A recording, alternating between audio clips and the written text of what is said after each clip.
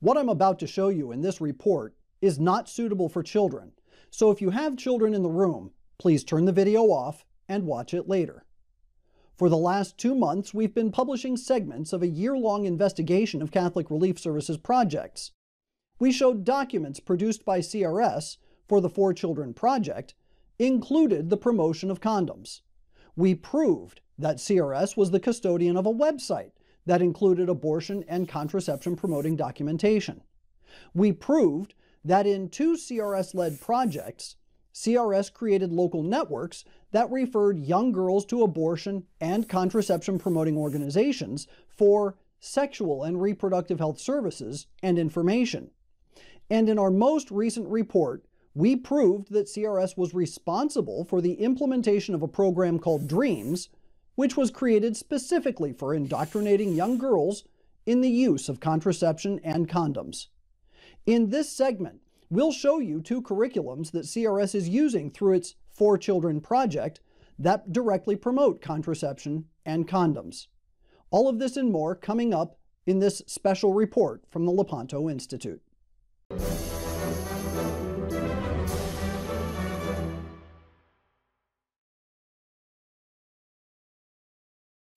In our last report, we covered the fact that CRS was implementing a project that was designed specifically for the spread of contraception to teen girls and young adult women. The project was called DREAMS. One document produced by CRS regarding the DREAMS project was titled 2 plus 2 equals 10, and it identified two curriculums that were being employed by CRS for the DREAMS for Children project in Lesotho. The acknowledgments for this report indicate that everything in the document had already been verified as having been implemented in CRS's Four Children Dreams project area. Here's what it says. This case study describes the learning gained from Four Children's approach to dreams programming, combining life skills and social asset building interventions for HIV prevention with savings programs and financial management skills for adolescent dreams girls. The information in this case study was gathered from project records and from interviews with representatives of the following organizations CRS Lesotho, Four Children Dreams Projects, and Caritas Lesotho. In short, there's just no denying the information that we're about to show you. Remember this chart from the last report? The one that shows how CRS tried to segregate its implementation of dreams from the acknowledged condom and contraception promoting portion of the project. Well, on the very next page is a chart outlining the various curricula CRS employed for the Four Children Dreams project in Lesotho. And in the chart, you can see repeated uses of a curriculum called Go Girls and another called Aflateen. We'll take a look at these one at a time, beginning with Go Girls. The curriculum Go Girls, as identified in this chart, indicates various modules of each curriculum and which week of the program they were used.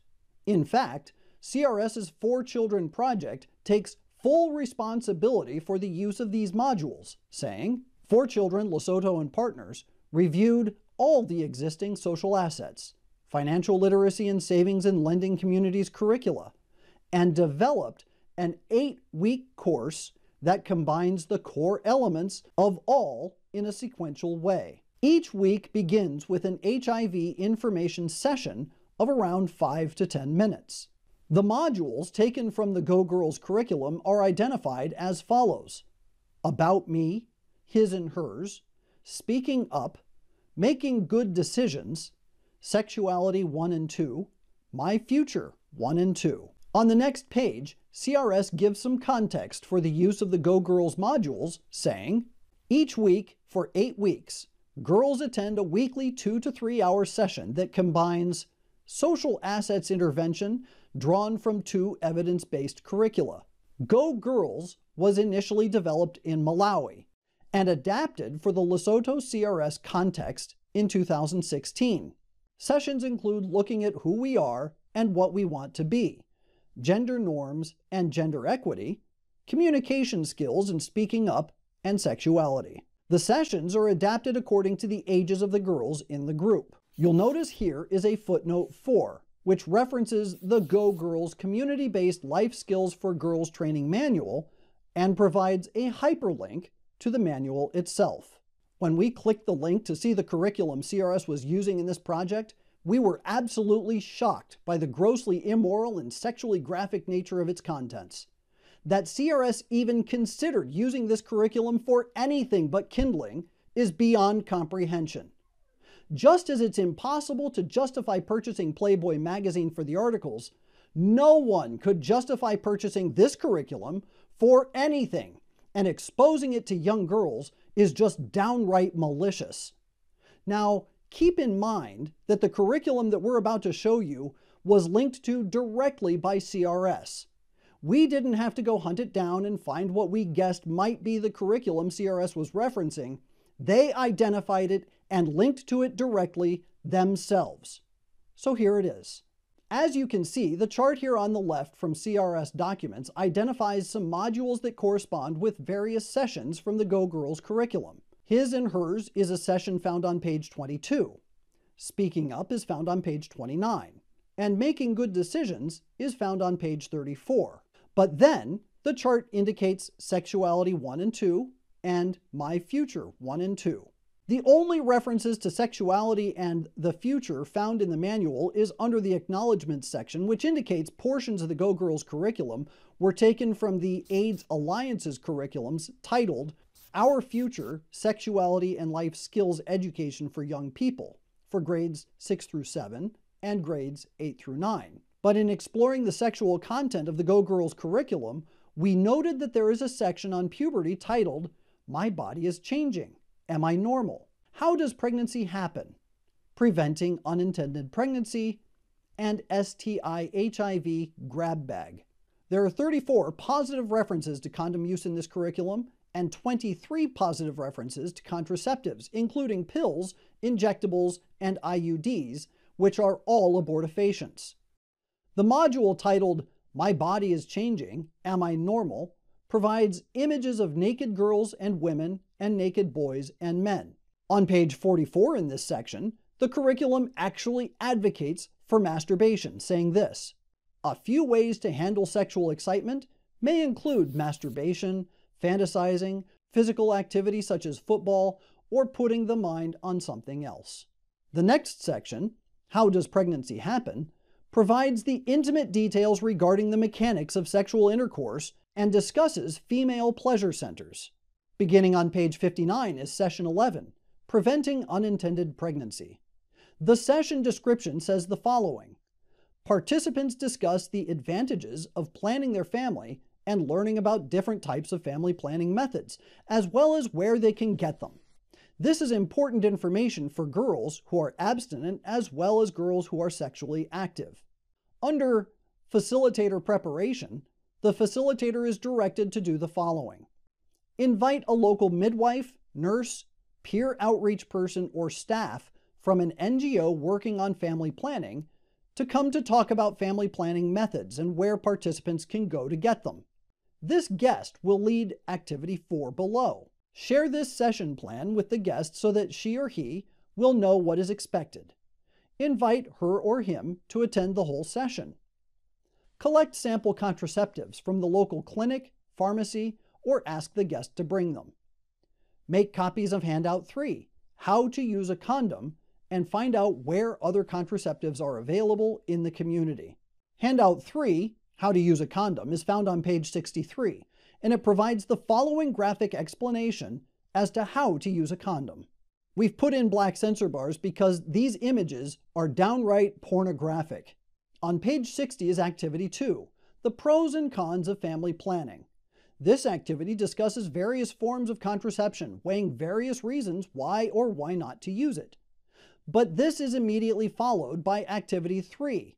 I know it's good for me, but found on page 61. The entire point of this activity is to convince young girls that using contraception is as normal as brushing your teeth, eating vegetables, or doing homework. The wrap up for the session instructs the facilitator to remind the participants that although pregnancy is normal, having children by choice, not by chance, is best for the mother, the baby, the family, and the nation. Remind the participants of places in the community where they can access contraceptives. And after reminding participants of where they can obtain contraceptives, the practice activity, which is essentially a homework assignment, is simply this. Between now and the next meeting, find out where do people get condoms and pills in your community. I can't stress this point enough. This curriculum was linked to directly by CRS in a CRS copyrighted document that was written specifically for a CRS project in Lesotho. And CRS indicated in a chart that the Go Girls curriculum was being used to teach young girls about sexuality. Even if CRS was to claim that it used a sanitized version of this curriculum, it still paid for the curriculum. It still brought copies of the curriculum to the area, and it introduced vulnerable people to a brand that was designed to corrupt souls. You know, we really have to ask would CRS purchase pornographic magazines so that it could show the kids articles in a classroom? Would CRS purchase and use a curriculum developed by Planned Parenthood itself, but then claim to only use the parts related to basic human anatomy and development? If the answer is no on both counts, as it should be, CRS condemns itself by purchasing and using this curriculum for any reason. Now let's take a look at Aflateen.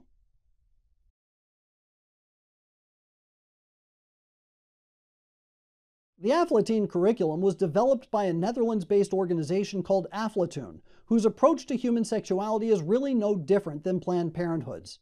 In fact, in 2017, Aflatoun joined forces with Planned Parenthood to stand against the reinstatement of the Mexico City policy declaring its allegiance with the She Decides initiative, which was set up specifically to raise funds for access to abortion.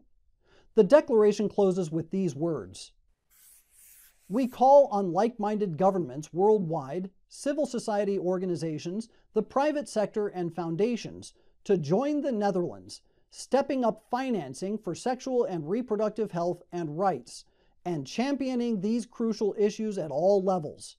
We will not let U.S. politics undermine women's health, rights, and autonomy, and we will continue to fight to promote sexual and reproductive health and rights worldwide. Sexual and reproductive rights always refers to abortion and contraception. But despite this overt and very public support for abortion, Aflatoun is very careful about its wording with regard to its curriculum, being very careful not to be too explicit about the contents. However, it doesn't shy away from the fact that Aflateen is designed to incorporate comprehensive sexual and reproductive health programs. For instance, on April 17 of this year, Aflatoun tweeted about the Aflateen curriculum saying, Our Aflateen Plus curriculum combines financial and social skills with sexual and reproductive health education. In an article on the Aflatoun website titled Inside Aflateen Plus Why Aflatoun Developed Education on Financial Literacy and Gender Inclusion, Aflatoun said, At its core, the curriculum addresses topics on gender inequality and the life chances of adolescent girls who disproportionately have limited access to formal education, health care, and financial capital boys and girls are encouraged to participate in activities that address gender specific attitudes toward sexual reproductive health. In a flyer about Aflateen Plus, Aflatoun says, the curriculum works toward economic empowerment. However, topics like human rights, sexual and reproductive health, family planning, and making life choices around education, career, marriage, and children, and how they are all interlinked provide a wider context. In another article about Aflateen Plus titled How Aflateen Plus is Addressing Child Marriage in Rural Tanzania, Aflatoun addresses one of the chapters in its curriculum titled My Body, My Choice, saying, One of the themes of the Aflateen Plus curriculum that TAI is implementing is the My Body, My Choices, as it fits well with girls who are at risk of getting married at early stage or unwanted pregnancy and need to get a comprehensive understanding for the context around them. What they have seen is that girls get more value of the Aflateen Plus. The value comes from an angle of knowledge acquisition to protect themselves from unwanted pregnancy and being equipped with financial knowledge and skills. From the descriptions alone, it's clear that the Aflateen curriculum is completely incompatible with Catholic teaching on human sexuality. But despite all this, in April of 2017, Aflatoun published an article indicating that Catholic Relief Services in Lesotho was Aflatoun's Partner of the Week. Here's what the article says Catholic Relief Services has worked in Lesotho since 2002 and has been a key strategic partner of Aflatoun International since 2012. CRS is focused on prevention of new HIV infections, currently working on the DREAMS project. DREAMS is a 10 country initiative funded by USAID PEPFAR that aims to reduce new HIV infections in adolescent girls and young women by 40%. CRS Lesotho has partnered with Aflatoun International since 2012 and implements parts of the Aflateen program in the DREAMS project. Even if CRS is only implementing portions of the curriculum, the same problem exists here as did for the Go Girls curriculum.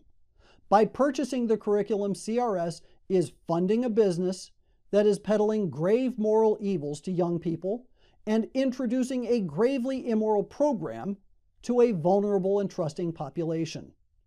The original Aflateen manual was published in 2008 and includes several positive references to condoms and contraception and even masturbation. The only copy of the manual that we could find was in French, but we have identified a few key areas of grave concern. Beginning on page 85, the manual introduces an ideology related to human sexuality built around personal decisions, safe sex, and satisfaction rather than objective moral standards. It says, Reproductive health is about the reproductive mechanisms, functions, and system at all stages of life. This is why reproductive health implies that individuals are able to have a responsible, satisfying, and safe sex life that they can reproduce by being free to make the decision themselves, choosing the time and frequency. One of the exercises in this section encourages students to address concerns regarding the purchase of condoms, the use of contraception in teen pregnancy. The manual instructs students to fill in the gaps for a list of statements pertaining to reproductive health, such as I feel blank when need to buy condoms. I think contraception is blank because blank. If I get pregnant or I get someone pregnant, I blank. I feel blank with the changes in my body because blank. I feel ready to have sex when blank. Virginity is blank. I shouldn't have sex if blank. I feel blank if I talk about masturbation. Sexual desires and fantasies are blank. If I had a homosexual friend, I blank. I think having sex before marriage is blank. After the students fill in the blanks, the instructor then reads a few sentences aloud, and students who agree with the statement in the sentence are to go to one corner of the room. Students who disagree with the sentences are to go to another corner, and students who are undecided go to a third corner. Some of the statements include It is okay to have intercourse before marriage. Boys have sex before marriage. Condoms are only for people with multiple sex partners. I know everything I need regarding reproductive health. It is embarrassing to have to go to a health center to ask for advice on contraceptives. It is very easy to talk about sexual issues with your parents. I know where to find help if I need advice on a reproductive health issue. Women should aim to have as many children as possible. You have the right to use contraceptive methods. After the students have segregated themselves to different corners, they are to then discuss among themselves why they chose the corners they did. The danger of this exercise is that it builds upon the idea that there are no right or wrong answers regarding the questions, and that students should come to their own conclusions either through discussion or by general consensus. Furthermore, by sneaking in suggestions that students should know where to find contraceptives, or that they have a right to use contraceptives, and without any right answers to form a foundation for proper understanding of human sexuality, The manual is planting the seeds of a contraceptive mentality into the minds of the students. Following this exercise, the manual gives an even worse activity. The 30 minute activity is aimed at facilitating conversation between boys and girls regarding sex. Without giving any suggestions, the manual provides the following instruction. Ask the following question. What questions do we have to ask the other sex? In this activity, tell the boys that they will have to answer the girls' questions, and tell the girls that they will have to answer those of the boys. The facilitators will ask the questions, and they will be the only one who knows who is responsible for each question. Ask everyone to think of two questions they would like to ask the other gender and write them on a piece of paper. Considering that the previous activity concerned highly emotionally charged topics related to procreation and human sexuality, it is simply unconscionable that this manual would then suggest opening the floor to discussion related to any question one sex has for the other. And though the manual does have the facilitator screen the questions, the fact of the matter is that the format is titillating by its very nature. In 2017, Aflatoun created an enhanced version of Aflateen called Aflateen Plus. In the introduction to the curriculum, Aflatoun identified CRS Lesotho as having played a role in increasing the inclusion of sexual and reproductive health in it. The introduction says this Aflatoun International and its partners have already established successful partnerships to promote gender equality and to offer learning resources on sexual reproductive health and rights, SRHR, reaching vulnerable girls and boys in seven countries. This includes our partnerships with Catholic Relief Services in Lesotho. These grassroots experiences have confirmed us in our belief of the need to now enhance the original Aflateen so as to include more lessons on gender and sexual and reproductive health and rights. We weren't able to obtain a copy of the complete Aflateen Plus manual, but we did find a sample on the Aflatoun website. And due to its graphic content and nature, it's very clear that any relationship that CRS may have with Aflatoun can be considered no different than a relationship with Planned Parenthood. Since we were only able to obtain a sample of the manual, we weren't able to examine the entire thing, but what we did see was enough to show that a Catholic agency should have nothing to do with this manual or the organization that produced it. The table of contents alone illustrates the pro contraception and potentially pro abortion nature of the manual. Section 3 of the manual echoes the mantra of the pro abortion lobby with the heading, My Body, My Choices. The table of contents for this section makes it clear that after discussing the changes in a girl's body during puberty, the manual is then going to discuss contraception and condom use. Of the 64 pages indicated in the table of contents for Section 3, only six are provided in the sample, and they are taken from Section 3.5, My Body, My Rules. Because of this, we don't know specifically which contraceptives are encouraged and in which manner, but the little bit from Section 3.5 is bad enough. The lesson objection for Section 3.5 provides much of the same individual decision making without any objective standards regarding human sexuality as found in the first Aflateen manual. It states that by the end of the lesson, participants will be able to do the following Identify the reasons why some adolescents or youth choose to have sex and others choose not to. Make informed decisions about engaging in sexual activity. Set personal limits around their sexual activity. This very subjective approach to human sexuality speaks for itself as clearly opposed to any Catholic sense of human sexuality.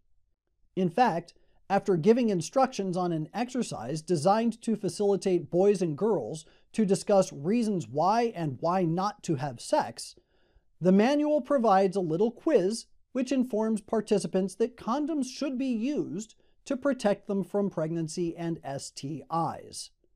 One question asks, How should you protect yourself if you and your partner agree to have sex?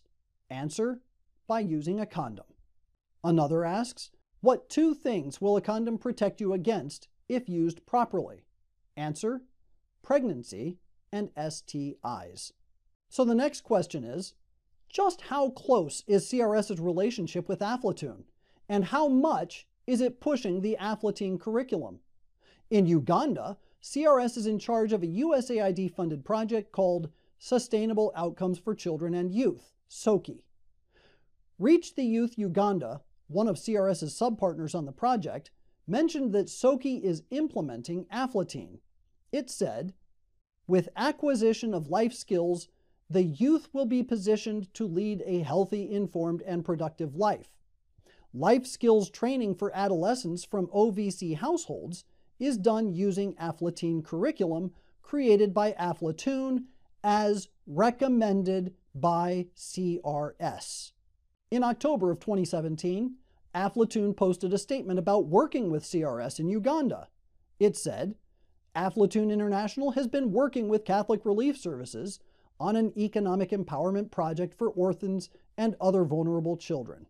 CRS has also been involved in the promotion of Aflateen in Nigeria. Aflatoun wrote, In Nigeria, Aflatoun organizes together with Catholic Relief Services a training of trainers this week. 30 participants learn how to teach the Aflateen and non-formal education manual to children. In 2013, CRS published a report on a joint project it conducted with Aflatoun in Malawi. The report said, from 2010 to 2012, Catholic Relief Services collaborated with diocesan partners and Netherlands based Aflatoun. Supported by UNICEF's Brighter Futures project, CRS's partners implemented the Aflatoun program in 20 children's corners. CRS even teamed up with Aflatoun in Afghanistan in August of 2018. The Aga Khan Foundation in Afghanistan is using Aflatoun tools to empower adolescent girls through social and financial education. Last week, they organized a training of Aflatoun trainers as part of the Steps Towards Afghan Girls Educational Success project. Partners in the project include Catholic Relief Services. Should Catholic Relief Services be implementing these kinds of curriculums? Is there any reason for a Catholic agency to have anything to do with curriculums such as these for any reason? The answer is a resounding and unequivocal no. Even if CRS is able to claim that it implemented non offensive versions of these curriculums, they're still promoting immoral programs by companies intent upon perverting the youth. As I said earlier, it would be grossly immoral to purchase a Playboy magazine just so that you could read and share the articles. You would still be contributing funding to the pornographic industry. And what CRS is doing here is no different. These curriculums and the organizations behind them are completely morally bankrupt, and CRS is feeding them business. In our next report, we'll bring all of these reports together and put it into a complete context so that you can see the big picture for what it really is and know for certain just how deep the corruption at Catholic Relief Services truly is.